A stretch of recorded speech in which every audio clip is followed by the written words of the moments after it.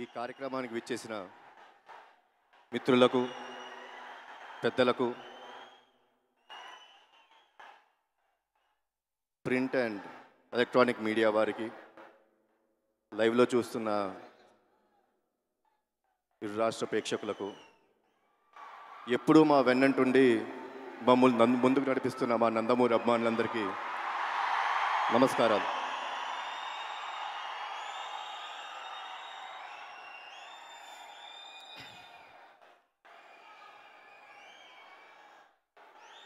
త్రివిక్రమ్ గారు తమ్ముడు కాంబినేషన్ ఎప్పుడు జరుగుద్ది? నాలానే మీరు కూడా ఎన్నో సంవత్సరాల నుంచి వెయిట్ చేస్తున్నారు నాకు తెలుసు. అదే ఈ అరవింద సమేత.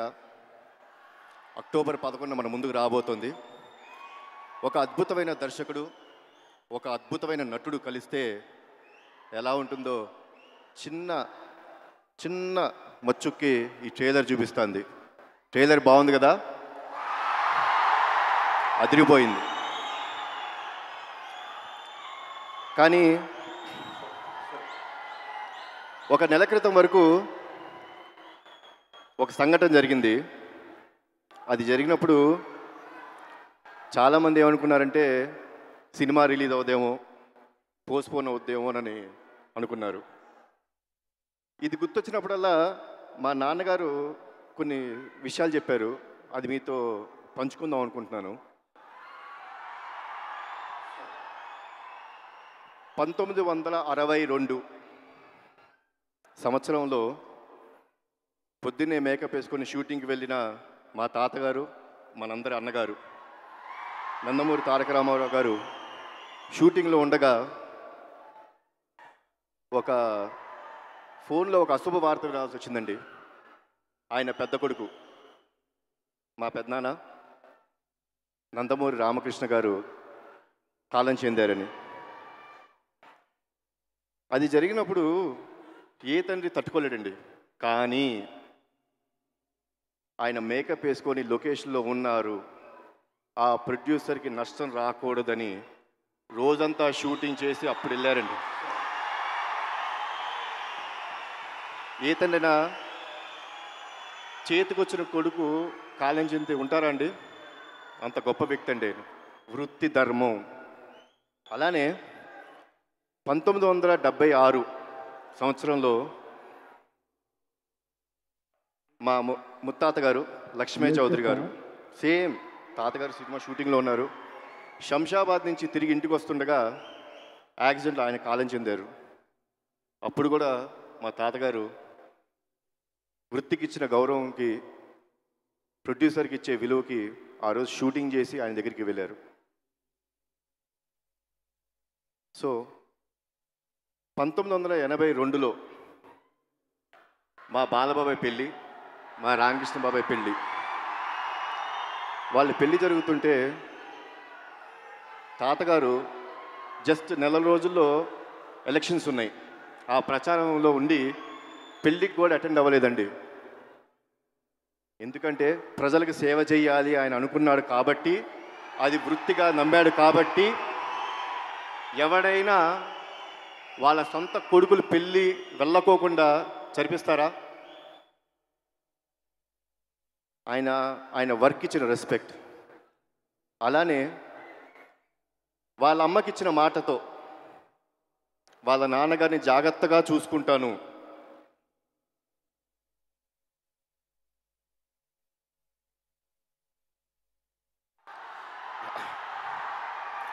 కంటికి రెప్పగా పా కాపాడుతానన్న మాట ఇచ్చిన మా నాన్నగారు వాళ్ళ తండ్రి గారిని ఒక ఆఫీస్ బాయ్గా ఒక డ్రైవర్గా చైతన్య రథసారథిగా ఆయన వెన్నంటుండి కొడుకు యొక్క కర్తవ్యాన్ని ఆయన నెరవేర్చారండి.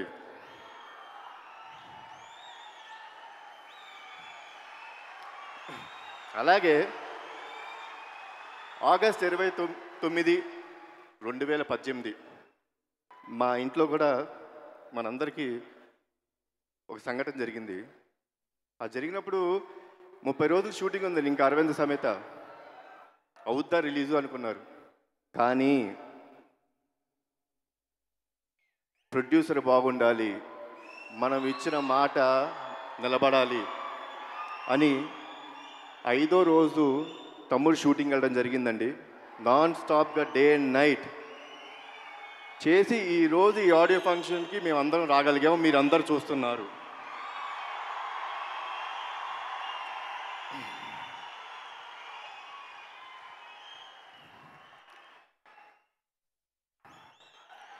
ఏ కోనలో కూలినాడో ఏ కొమ్మలో చేరినాడో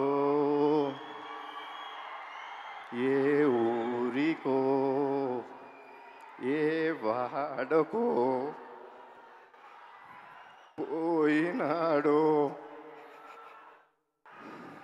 నానా నువ్వు ఎక్కడ వెళ్ళలేదు మా అందరి మనసుల్లో మా గుండెల్లో నువ్వు ఉండిపోయావు. నువ్వు మాకు నేర్పించింది. ప్రొడ్యూసర్ బాగుండాలి వృత్తి పట్ల నువ్వు ఏమాత్రం ఇంట్రెస్ట్ కోల్పోకుండా చేయాలనే దాంట్లో ఈరోజు తమ్ముడు కానీ నేను కానీ అదే దోవలో ఉంటాం నువ్వు మా మనసులోనే ఉంటావు. నువ్వు ఎక్కడికి వెళ్ళవు. స్వర్గానికి కాదు ఎక్కడికి కాదు. మాతోనే ఉంటావు ఎప్పుడు. మా మనసుల్లో మా చుట్టూ ఉంటావు. ఈరోజు ఈ ఫంక్షన్లో కూడా నువ్వు ఉన్నావు వీళ్ళందరి రూపంలో. చూస్తూ ఆనందపడుతున్నావు నాన్న.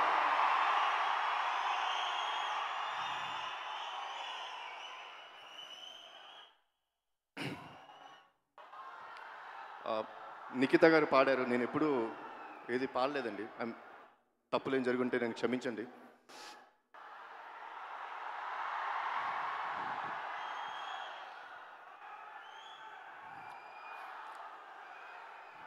నాదో చిన్న రిక్వెస్ట్ ఉందండి.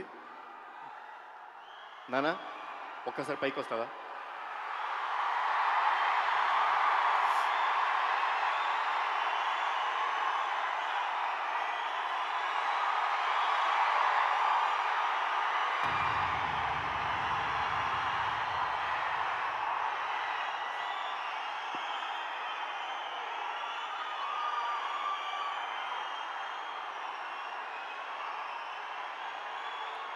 మా నాన్నగారన్న మాకు చాలా ప్రేమ అండి అది చెప్పుకుంటే కాదు. మీ అందరూ ఆయన చాలా అభిమానించారు.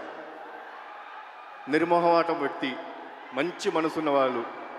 ఎప్పుడు అందరూ బాగుండాలని కోరుకునే ఆ వ్యక్తి కోసం ఒక్క ఈ ఆడియో ఫంక్షన్ కొద్ది సెకండ్లు అందరు నుంచొని ఆయన్ని ఒక్కసారి తలుచుకుందామండి. కొద్ది క్షణాలు. నా కోసం థ్యాంక్స్ అలాట్ అండి.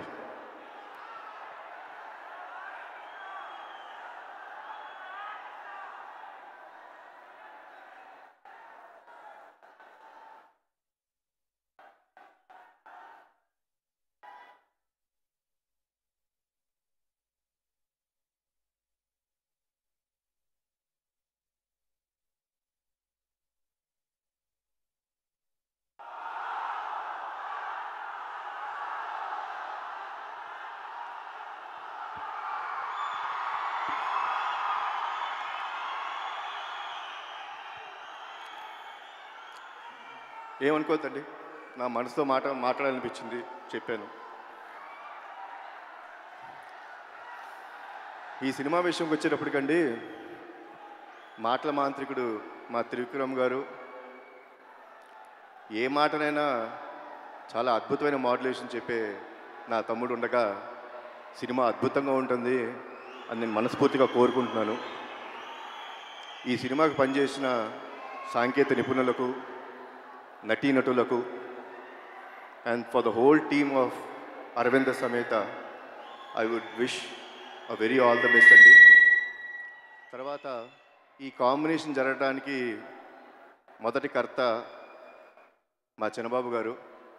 సార్ థ్యాంక్స్ అలాట్ పదేళ్ళ నుంచి వెయిట్ చేస్తున్నాం ఈ కాంబినేషన్ చూడాలని చెప్పి. And I would like to wish everyone all the best may God bless you all జాగ్రత్తగా ఇంటికి వెళ్ళండి.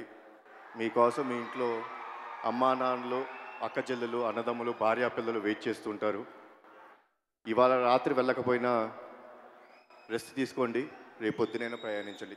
తొందర ఏం లేదు కానీ వాళ్ళు మన కోసం వెయిట్ చేస్తున్నారు. జాగ్రత్త. జోహార్ హరికృష్ణ. జై హరికృష్ణ.